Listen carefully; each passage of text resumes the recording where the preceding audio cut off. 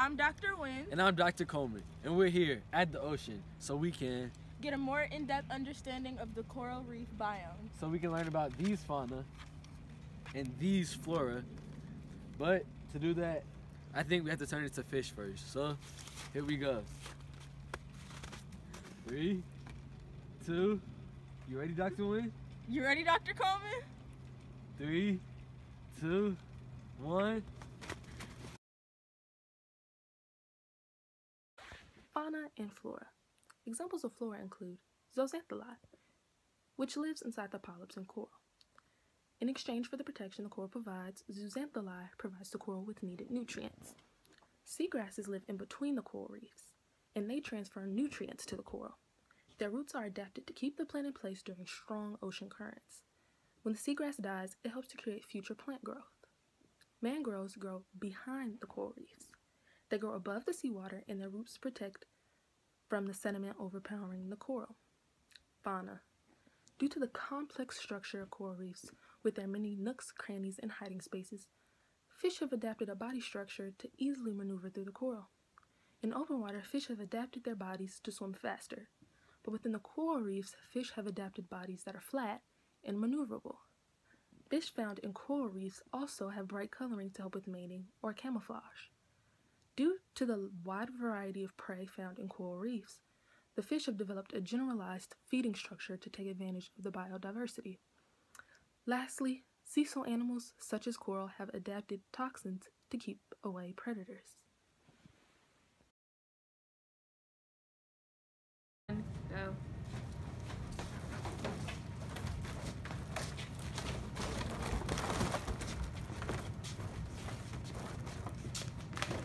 We're here in the coral reef.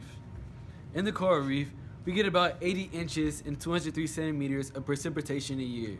It really depends though, wherever in the coral reef you want to go, because it varies, like in different coral reefs, how much precipitation you get. The Great Barrier Reef gets the most precipitation. They get the most precipitation during their rainy season, which starts in September and ends in March. Coral reefs mainly form in the tropics since they favor temperatures between 70 to 80 degrees Fahrenheit or 21 to 27 degrees Celsius.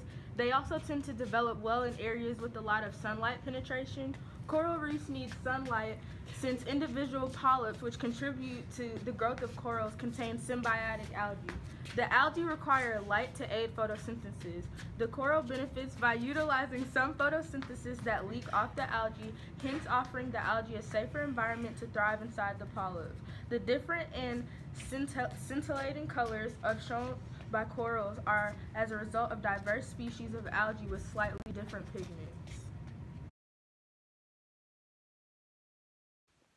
Our energy system includes the sun. The sun is the initial source of energy for our ecosystem. Through photosynthesis, phytoplankton, algae, and other plants, light energy is converted into chemical energy. As animals eat plants or other animals, a portion of this energy is passed on.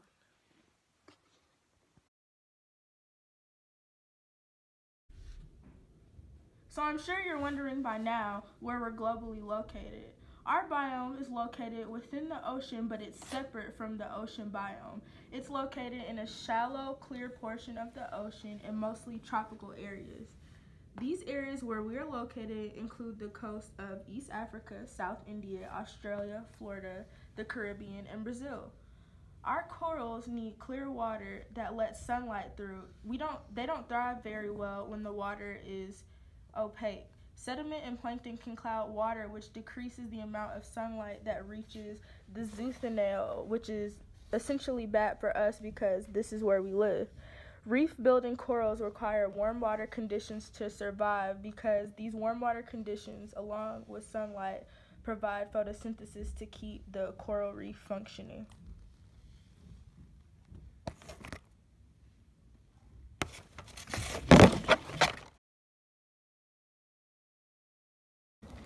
To get a true understanding of what it's like down here in, in the coral reef for us fish, I'm going to introduce you to the type, our type of soil quality.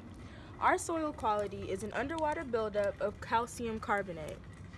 It is formed by corals secreting their exoskeleton and other animals that uh, surround the coral reef that use it for uh, their habitat and their food supply. So it's basically like a mud substance that's made out of calcium carbonate and debris.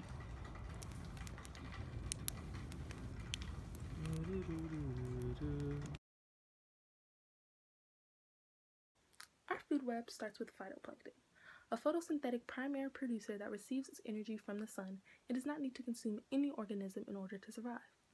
The phytoplankton is consumed by zooplankton, a primary consumer. The zooplankton is then consumed by some secondary consumers. These include the fanworm, the blue chromis, the sea sponge, and the coral polyps. The fanworm is eaten by the tertiary consumer, the pufferfish. The coral polyps are eaten by another tertiary consumer, the sea slug.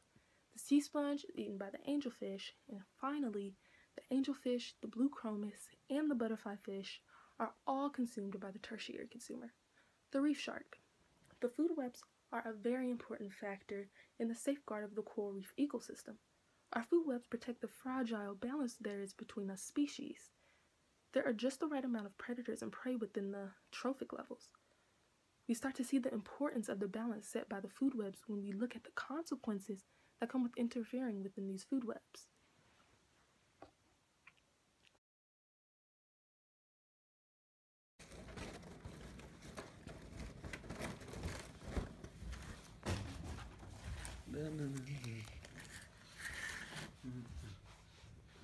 Oh, I didn't see you there. I was just playing with some of my starfish and jellyfish friends down in the coral reef.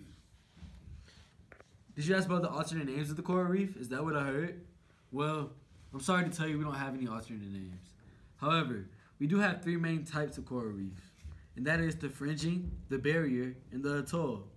The fringing is the type of coral reef that grows seaward directly from the shore. They form borders along shoreline and surrounding islands.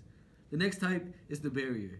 Those coral reefs are important because they bring in billions of dollars to our economy through tourism, protecting coastal homes from storms, support promising medical treatments, and provide a home for millions of aquatic species. However, I'm a, part of the last and final type of coral reef, the atoll.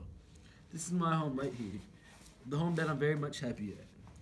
The atoll is a ring-shaped coral reef island or series of islets, and they surround a body of water called a lagoon. Sometimes atolls and lagoons protect the central island. Channels between islets connect the lagoon to open sea, ocean or the sea area. This is my little atoll right here, and I'm very happy. These are some of my friends. Now that I'm done telling you about our coral reef, I'm gonna give you a little insight into what our favorite thing to do down here in the coral reef is. Party!